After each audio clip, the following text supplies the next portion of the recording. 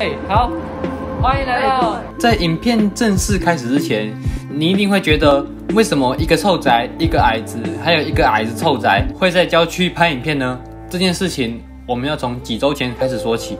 OK，好，所以我们今天呢，要决定一下我们的呃咖啡馆要要用要用。好的，因为施工的声音太吵了，所以呢，我就在这边简短说一下，在决定了。咖啡店的店名要叫马菲了以后，大家有了不一样的主张，决定要养各种马，分别是骆马、草泥马、一般的马，还有斑马。而大家最后指定要用猜拳来决定谁的策略要被采用。所以在经过一阵激烈的猜拳以后，我们有了获胜者。在决定要养一般的马以后，我们正在思考要去哪里养马。接着，我们就将矛头指向了林园。刚好我们这组当中有人认识住在林园当地的学生们，于是我们就……那我们今天请到了道地的林园人，然后我们现在要问他们关于一些林园的问题。然后，请问你们怎么形容你们自己的呃家乡林园？工业区。那我的话就是，呃，介于乡那那附近的商店啊，比如说有没有什么咖啡店或者是什么特殊的店？是都是蛮普通的连锁的，对，就是基本上是这种多纳兹啊，对啊之类的，就是高雄市区一定看得到的东西，然后只是要独立开。哦，所以没有那种独自来开那种。基本上算霸称霸市场了啊。那么，那么假如说啦，在林园开间。以马为主题的咖啡店的话，你觉得？马吗？哎，对。那我觉得主要是有场地。场地有啊，有啊，那那边有一个。在在山上，那边有山，那里那里有山。我以为你们是在在海边。就是我们是靠山靠海，但是对，就是清水，清水，清水，对吧？这是一个蛮标准。所以你们你们说的那个素食店。像是麦当劳，它不是二十四小时开，这件事情是真的哦，在里面是真的发生。就是对，就是他，我同学说他工作十二点，嗯，然后他就是弄完之后五点就是凌晨五点才开，所以中间那段时间还是没有全部休息，就是关掉。就是他们有其中一位受访者是。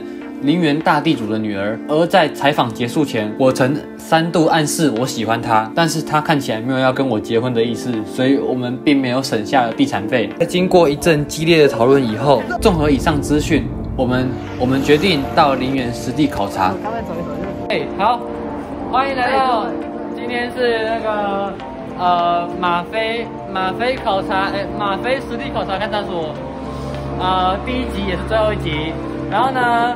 呃，这就是我们听得到吗？听不到，因为车子的声音太吵了，所以我们就直接用配音的了。呃，咖啡店的话，我们等下等下再仔细看一下，看能不能搬进去或什么的。声明：本影片在拍摄及制作时，并没有任何违法及攀墙等行为，请安心使用。对对对。然后，然后我们在做报告做一半，可能说不定就会被抓走这样子。好，那我们那我们那我们先先关。我们现在到了对面，然后呢，呃，这里看起来，对，这里肯定肯定非常适合适合让人来喝咖啡的，一定养马，对啊，一定一定会有人想要来我们这边喝咖啡的。哎，这都要低调哎。好，OK。所以呢，就这样来看的话，后面这边是我们的那个。是我们的咖啡店。好，这东西我们可以可以，比如说偷看一下里面装什么东西吗？呃，里面看起来看起来很大。呃，这这种时候，这这这种东西，到时候就真的可以跟别人说，我我们我们咖啡店蛮大的，这样真的蛮大的，对啊。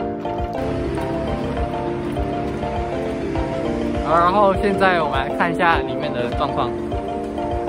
里面里面呃，都是草地啊。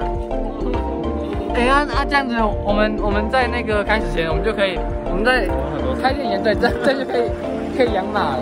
我要让马，我要让它孕育出它天然的野性。你看，你看，我们现在在那个咖啡店的隔壁，然后想说进去里面勘察一下。呃，我也不知道为什么，反正看起来就是。所以根据我们最终讨论，我们的店面大概会长得像这样，并且呢会在旁边种草，然后养马，最后我们还要有移动式的餐车。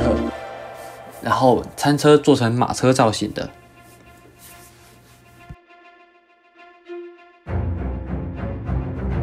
而这就是我们的咖啡店马飞。